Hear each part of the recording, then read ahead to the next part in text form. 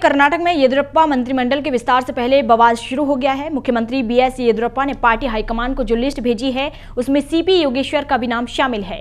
CP Yogeshwar ना तो विधायक हैं और न ही विधान परिषद सदस्य सीपी योगेश्वर को मंत्री बनाए जाने की अटकलों से बीजेपी के कई विधायक नाराज़ हैं और इस्तीफा देने की धमकी दे रहे हैं। हालाँकि नेता अभी पार्टी हाईकमान के फैसले का इंतज़ार कर रहे हैं। मंत्रिमंडल विस्तार पर राज्य में चल रही रार पर बीजेपी विधायक राजू गौड्डा ने फ़ोन पर बताया कि सीपी योगेश्वर को कैबिनेट मंत्रिमंडल में शामिल करने का फैसला निराशाजनक है। हम हैदराबाद, कर्नाटक के सभी अन्य विधायकों से मिलेंगे और भविष्य के बारे में विचार करेंगे।